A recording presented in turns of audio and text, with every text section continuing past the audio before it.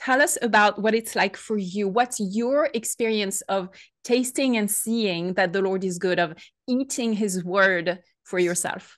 Yes. So I would say that as a follower of Jesus, I am a student of the Jews and the mm-hmm. ways they read, process scripture.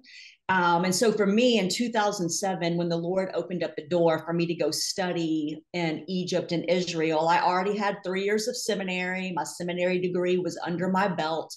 And I often say here in America, and I know your audience is wide and varied, many different countries, but I live here in the United States. And as a Western culture, a Western civilization, I'm always saying that we here, we are much more like Athens and Rome than we are Jerusalem. We are much more Greco Roman in our cultural sensibilities and values and virtues than we are Jewish in the way of Israel. And so for me, shifting from that knowledge to embodiment. You know, the Greeks loved knowledge, Socrates, Aristotle, Plato.